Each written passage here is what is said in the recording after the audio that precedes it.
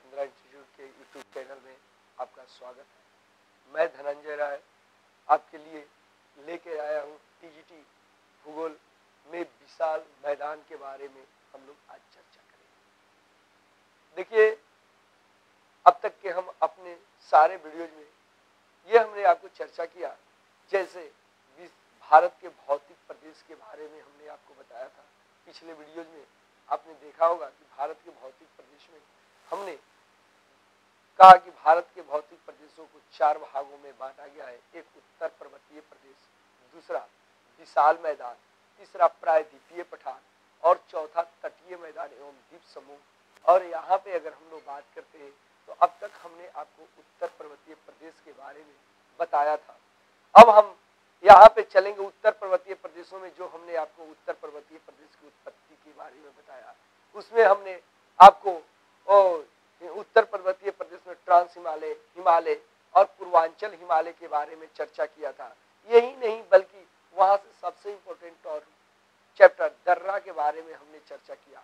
उसी के बाद, उत्तर पर्वतीय प्रदेश के बाद, भारत के भौतिक प्रदेश का दूसरा चैप्टर हम लेकर के आए हैं आपके सामने, जिसका नाम है विशाल मैदान। आइए हम चर्चा करते हैं विशाल मैदान के बारे में कि ये है कहाँ और इसका निर्माण कैसे हुआ। देखिए भारत का सबसे पुराना भूभाग यही है प्रायद्वीपीय। यह है प्रायद्वीपीय।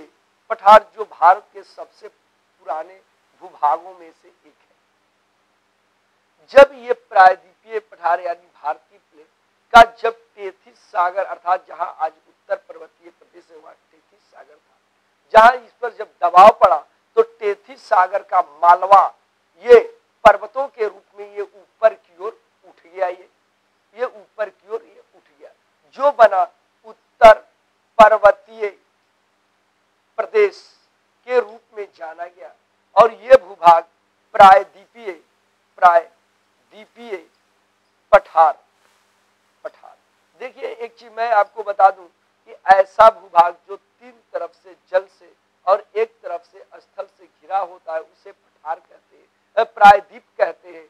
लेकिन अब बात ये होती है कि पठार होते क्या है? तो थोड़ा हम आपको विशाल मैदान बताने से पहले कुछ बेसिक हम चर्चा कर देते हैं। जैसे देखिए, ये चीज़ें आप जो देख रहे हैं, ये चीज़ें। ये देखिए, यहाँ पे अगर हम लोग बात करते हैं कि जिसकी ऊंचाई 1500 मीटर से अधिक हो 1500 मीटर से अधिक हो, उसे पर्वत कहते हैं, पर्वत। और जिसकी ऊंचाई 1500 से 1000 मीटर के बीच हो उसे पठार कहते हैं। सॉरी पहाड़ी कहते हैं। पहाड़ी कहते हैं। जिसकी ऊंचाई 1500 सॉरी 1000 से 600 मीटर के बीच हो उसे पठार कहते हैं, पठार। और जिसकी ऊंचाई 600 मीटर से कम हो उसे मैदान कहते हैं, मैदान। और ये ऊंचाई मापी कहाँ से जाती है? तो समुद्र तल से, समुद्र तल। देखिए, दो बातें होती है। एक समुद्र तल में एक होता है तल और एक होता है नीतल। तल का मतलब होता है ऊपरी हिस्सा और नीतल का मतलब होता है निचला हिस्सा। तो सी लेवल जो होता है, ज़ीरो मीटर ले लेते हैं तो हमारा सी लेवल चेन्नई से ली गई है। तो यहाँ पे अगर हम लोग बात करते हैं तो हमने ये कहा कि पर्वत, पहाड़ी, पठार, मैदान तो यहाँ अगर बात करते तो ऊंचाई के आधार पर तो हमने बता दिया। लेकिन एक चीज़ और, पठार, तब कोई कहे आपसे कि पामीर का पठार और तिब्बत का पठार जिसकी ऊंचाई अड़तालीस सौ सॉरी अड़तीस सौ और बयालीस सौ मीटर है तो वो क्यों नहीं पर्वत हो जा रहा है? तो ये कंडीशन और लागू होता है कि पर्वत और पहाड़ियों में एक संकुचित शिखर होता है, जबकि पठार का ऊपरी भाग क्या होता है? सपाट ये सपाट होता है।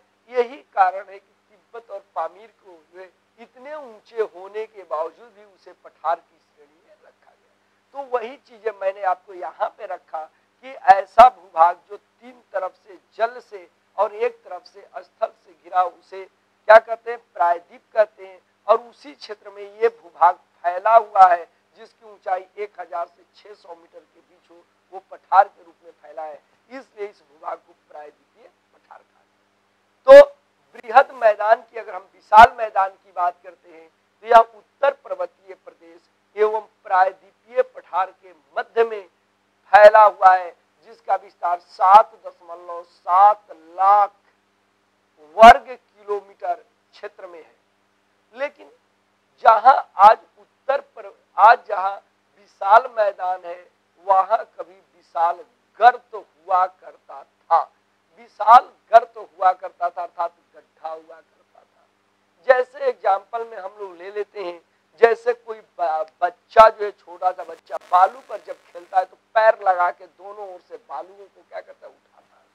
तो बीच में जो होता है, उच्च भूभाग बन जाता है और दोनों किनारे पर क्या बनता है, गड्ढा बनता है। जब वो पैर को बाहर निकाल लेता है तो वही बालू पुनः सरकता हुआ उसी गड्ढे में जाकर के भर जाता उसी तरह से यहाँ पर भी देखते हैं कि जब उत्तर पर्वतीय प्रदेश का निर्माण हुआ टेथी सागर के स्थान पर तो उसके अगले भाग में यानी अगले आगे एक गर्त बना, वो गर्त गड्ढा था लेकिन वही उत्तर पर्वतीय प्रदेश से निकलने वाली नदियाँ जैसे नदियों में सिंधु गंगा ब्रह्मपुत्र और इनकी सहायक नदियाँ अपने साथ लाए हुए मालवा मतलब कंकड़ पत्थर मिट्टी को ला के इसी में क्या कर दी निक्षेप कर दी मतलब जमा कर दी और इसी जमा करने के कारण इस वर्तमान में जो ये मैदान बना हुए है, उसी मालवा के जमा होने से ये बना है। अगर कभी परीक्षा में ये पूछा जाए कि विशाल मैदान की गहराई कितनी है, अगर ये पूछा जाए तो विशाल मैदान की गहराई जो है 2000 मीटर है। विशाल मैदान की गहराई 2000 मीटर है। लेकिन हम औसत गहराई की बात करते हैं तो इसकी औसत गहराई जो है 600 मीटर है। तो विशाल मैदान की औसत गहराई 600 मीटर अब आइए, अगर हमें इसे बताना हो कि हम किसी को कैसे बताएँ या कैसे इसको हम जाने तो ये हम कहेंगे कि आज जहाँ विशाल मैदान है, वहाँ कभी विशाल गर्त हुआ करता था। लेकिन आज से लगभग एक लाख एक लाख वर्ष पूर्व एक युग था जिसका नाम था क्वाटनरी क्वारनरी युग क्वाटनरी युग में उत्तर पर्वतीय प्रदेश से निकलने वाली नदियाँ अपने साथ लाए हुए मालवा को यहाँ निक्षेपित की, जिससे इस मैदान का निर्माण हो गया। लेकिन इस मैदान की आगे अगर हम लोग बात करते हैं तो इस मैदान को बनावट के आधार पर जो है निम्न भागों में बांटा गया है। आइए मैदान क्या निर्माण कैसे, जो हुआ, उसका हम डायग्राम एक देखते हैं कि यह मैदान बना कैसे। देखिए, विशाल मैदान में अगर हम लोग बात करते हैं तो हिमालय में तो कोई मिट्टी तो रखी नहीं गई है कि नदियाँ ला ला के ला ला के यहाँ पर छोड़ दे। तो यहाँ पर देखते हैं कि जैसे ये उत्तर पर्वतीय प्रदेश है, इसको हम मान लेते हैं, ये उत्तर पर्वतीय प्रदेश ऐसे ये फैला हुआ है। उत्तर पर्वतीय प्रदेश। ये अगर हम हम बात करते हैं तो उत्तर पर्वतीय प्रदेश, जहाँ से निकलने वाली नदियाँ, जब उत्तर पर्वतीय प्रदेशों से नदियाँ निकलती है तो नदी का वेग क्या होता है? शुरुआती दौर में नदी का वेग जो होता है, अति तीव्र होता है। जब तीव्र होता है नदी का वेग तो जैसे ही घाटी से नदियाँ बाहर की ओर निकलती है तो नदियाँ जो है अपने साथ लाए हुए बड़े बड़े चट्टानों को अपने मार्ग में छोड़ देती है, क्योंकि घाटी के बाहर निकलने पर आयतन अधिक हो जाने के कारण नदी के वेग में कमी आती है, कि जिस कारण नदियाँ अपने साथ बड़े बड़े चट्टानों को अपने मार्ग में छोड़ देती है। इस तरह से जो मैदान बनता है, उसे कहा जाता है भाभर का मैदान, जहाँ जहाँ नदियाँ कई धाराओं में बट जाती है और नदी जो है बट जाती है और नदियाँ लुप्त अवस्था में दिखाई देने लगती है। तो ऐसे मैदान को भाभर का मैदान कहा जाता है, जो हिमालय के अग्रभाग में या शिवालिक श्रेणी के अग्रभाग में पाई जाती है। इसके बाद जब नदी आगे की ओर बढ़ती है तो अपने साथ छोटे छोटे कंकड़ पत्थर को लेकर के आगे की ओर बढ़ती है, क्योंकि बड़े बड़े चट्टानों को तो वहीं पे छोड़ दी। और यह जो है पूना भावर की लुप्त नदियाँ दो या तीन धाराओं में दिखाई देने लगती है, इस कंकड़ीले मैदान को तराई का मैदान कहते हैं। तराई का मैदान। अगर तराई के मैदान की बात करते हैं तो यह उत्तर प्रदेश के उत्तरी भाग में, जैसे पीलीभीत, लखीमपुर, बहराइच, गोंडा, श्रावस्ती, महाराजगंज के अलावा बिहार के उत्तरी भाग, पश्चिम बंगाल के उत्तरी भाग, असम घाटी में प्रकार के मैदान पाए जाते हैं और इस मैदान में जल जमाव के कारण प्रकृत प्रदत्त बीमारियाँ जैसे मलेरिया, फाइलेरिया, टाइफाइड, घेघा रोग जैसी बीमारियाँ इस तराई प्रदेश में पाई जाती यही नहीं, तराई की जो मिट्टियाँ हैं, उसमें जो है, चूने की अधिकता के कारण इस प्रदेश का मुख्य फ़सल जो होता है गन्ना होता है। देखे होंगे आप तो उत्तर प्रदेश के जो उत्तरी जो भाग हैं, जिसमें हमने आपको अभी बताया कि पीलीभीत लखीमपुर, बहराइच वगैरह वगैरह जो ज़िले अभी हमने नाम लिया वो जिलों में जो है गन्ने का उत्पादन किया जाता है। तो इस तरह से तराई बेल्ट का मुख्य फ़सल क्या है? गन्ना।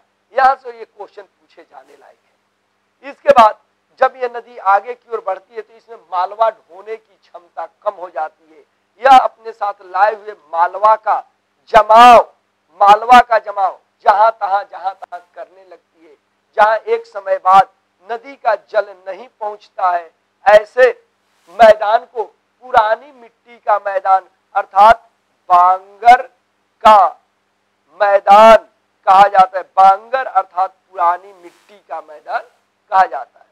यही नहीं, जिन क्षेत्रों में हर साल बाढ़ का पानी ये पहुँचता है, जब बाढ़ का पानी पहुंचेगा तो जब बाढ़ का जल स्तर जो होता है, धीरे धीरे धीरे धीरे कम होता है तो उन क्षेत्रों में जो है नवीन मिट्टियों का विस्तार होता है। जब उन क्षेत्रों में नवीन मिट्टियों का विस्तार होता है तो उसे कहा जाता है खादर का मैदान। खादर का मैदान जो गंगा यमुना बेसिन में पाए जाते बेसिन का अर्थ होता है कछार। गंगा यमुना के कछार में ये नवीन मिट्टियाँ पाई जाती जहाँ हर साल बाढ़ का पहुँचता है। जिस कारण ये नवीन मिट्टियाँ क्या होती है? अधिक उपजाऊ होती है। ये सर्वाधिक उपजाऊ मिट्टी है। ठीक है? तो इस तरह से ये जो है, हमारे विशाल मैदान का निर्माण जो है, इसी तरह से हुआ है। तो हमने क्या कहा कि विशाल मैदान जो उत्तर पर्वतीय प्रदेश से हुआ, जो है प्रायद्वीपीय पठार के मध्य सात दशमलव सात लाख वर्ग किलोमीटर में फैला है, जिसका निर्माण कब हुआ था? तो क्वार्टरी युग में गंगा यमुना, गंगा, ब्रह्मपुत्र, सिंधु और उनकी सहायक नदियों द्वारा लाए गए मालवा के जमाव से हुआ है और इस मैदान को बनावट के आधार पर चार भागों में बांट दिया। भाभर का मैदान, तराई का मैदान, बांगर का मैदान और खादर का मैदान। इस तरह से ये जो है विशाल मैदान का निर्माण हुआ है। देखिए, अगर आप ये और भी विस्तृत जानकारियाँ चाहते हैं तो हमारे चंद्रा इंस्टीट्यूट के व्हाट्सएप जो है नंबर पे आप मैसेज कीजिए, हमारा WhatsApp number nine one one eight five one six five zero three है। इस पर आप मैसेज कीजिए, आपको इसमें जो विस्तृत जानकारियाँ दी जाएगी, ठीक और आपको ये हमारा जो हमारा ये जो हमारा वीडियो बेहतर लगे तो आप लाइक कीजिए, सब्सक्राइब कीजिए। तब तक के लिए धन्यवाद। और हम मिलेंगे अगले चैप्टर में, जिसका नाम होगा प्राय द्वीपीय पठार और पहाड़िया। तब तक के लिए, गुड नाइट।